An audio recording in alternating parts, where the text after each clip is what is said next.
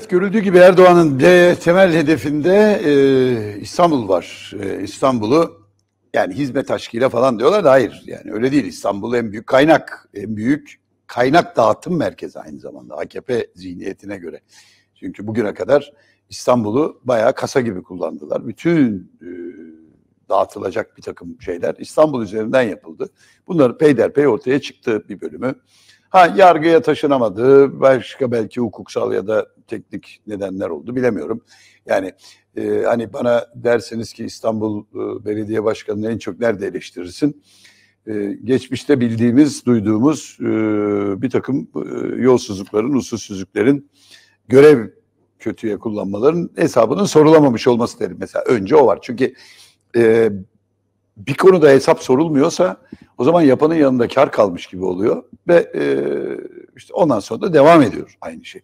Şimdi Erdoğan tabii İstanbul'un e, eskiyi mumla arıyorlar diyor. Ama doğru değil. Yani şimdi biz de İstanbul'da yaşıyoruz. Tamam e, İmamoğlu döneminde 5 yıl boyunca İstanbul'da hani işte diyeceğin görsel pek bir şey belki olmadı. Ama ne oldu mesela? Yer altında oldu. İstanbul'un bütün kanalizasyonları yenilendi. Bütün o atık su şeyleri, sistemleri yeniden yapıldı. Eziyet de çektik. Yani bazı bölgelerde. Hala da çekiliyor. Yani bugün e, Nişantaşı, Nişantaşı e, efendim yani gördüğüm yer için söylüyorum. Başka yerlerde de var ama yani mesela e, Vali Konağı'da Nişantaşı şeye iniyorsun. Ihlamur'a iniyorsun. Oradan köprü yoluna çıkacaksın filan hala bitmedi ama devasa kazılar var. Yani bir oralar bitip de kapandığı an yani belki 30-40 yıl İstanbul'un artık hani kanalizasyon sistemine ilmenize gerek yok. Ha tabii görsel olarak e, bakınca bunlar görülmeyecek yani o kazılan yerler kapatılınca herkes onu unutacak. AKP işte bunları ihmal etti 25 yıldır. Yani refah döneminden bu yana. Görsel şeye çok e, gittiler. Yani çok popülist bir anlayış. Efendim görsel olarak yapılanlar yanlış mı? Yani İstanbul'da birçok tünel var, birçok yeni yol yapıldı AKP döneminde doğru. Ama hep görsele gittiler. Ondan sonra işte Erdoğan'ın da itiraf ettiği gibi hani İstanbul'u mahvettik dedi ya işte dikey yapılaşma filan.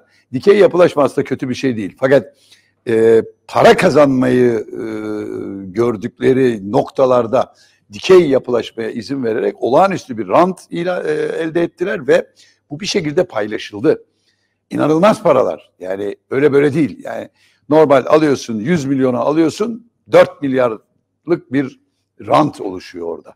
Halbuki eski planlara göre filan yapılsa 100 milyon yatırdığın yer olacak 400 milyon mesela. Yani üzerine bir inşa yapacaksın falan filan. Ama öyle yapmadılar işte. Ha şimdi ya işte dikey yapıldı falan filan. Şimdi mesela diyor ki bir haberde yoktu ben size söyleyeyim. Şeye benzetti İstanbul halkı diyor.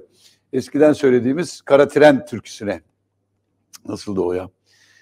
Kara tren gelmez ola, düdüğünü çalmaz ola. Bu Anadolu'da söylenen bir şarkıydı.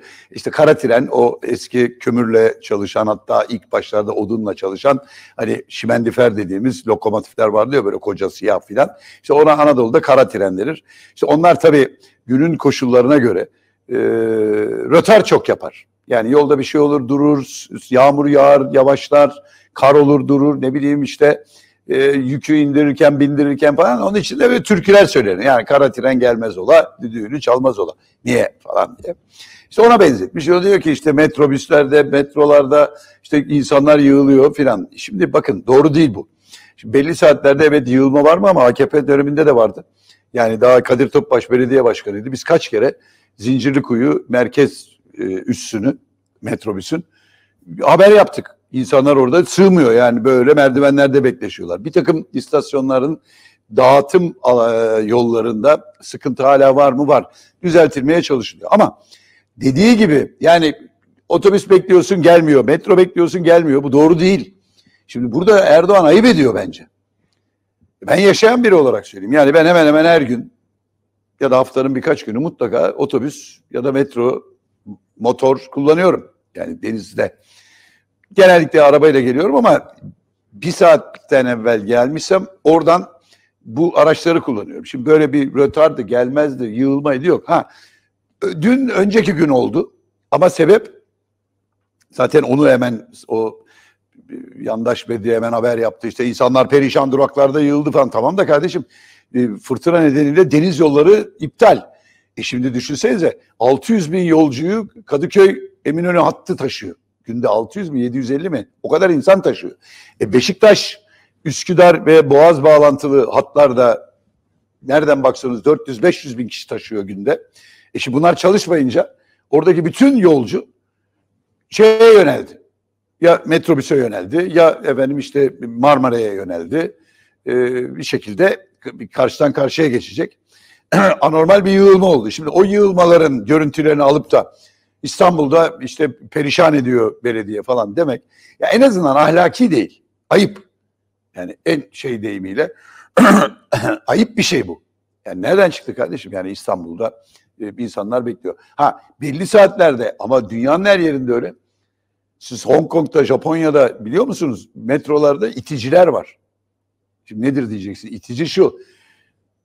İstasyona geliyor e, tren. Kapı, kapılar açılıyor. içeri giriyor fakat giremiyor. Böyle yani kapılar bir türlü kapanmıyor.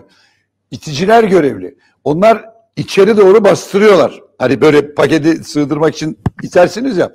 İnsanları içeri doğru itiyor, kapıyı kapattırıyor.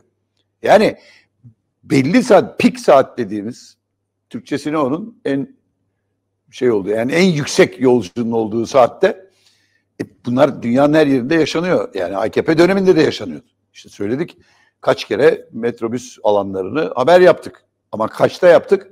Hangi saatteki durumu yaptık? Mesela akşam 18. E 18, 17 herkesin eve dönüş saati. E o saatte dünyanın her yerinde o yoğunluk var zaten. Ha hiçbir şey yapmadı, beceriksiz. E, ona bakıyorum. Şimdi evet eksikler falan var ama ya belediye meclisi AKP'nin elinde.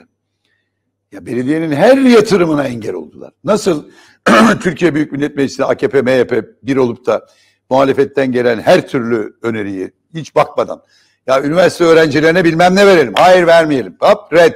Neyi reddettin diye soruyorsun milletvekili. Bilmiyorum diyor. İşte grup başkan vekili hayır dedi. Biz de hayır dedik diyor. E, İstanbul Belediyesi de öyle. Yani belediye meclisi de öyle. E şimdi bunları görmezden gelince e, bir şey yapamadı. E, yapamıyor ki. Ya toplanan paraya bile el koydurdular ya. Yurt dışından kredi bulundu. E, gelen krediye devlet bloke etti parayı. Kara paraymış gibi.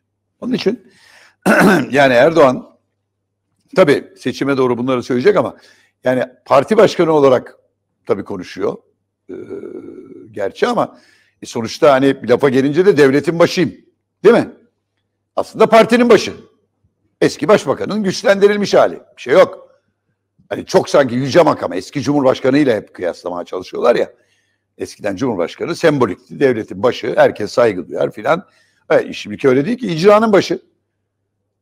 E şimdi orada yani popülizm uğruna makamı da zedeleyecek bir şekilde İstanbul'da herkes perişan deyince ha şu var tabii.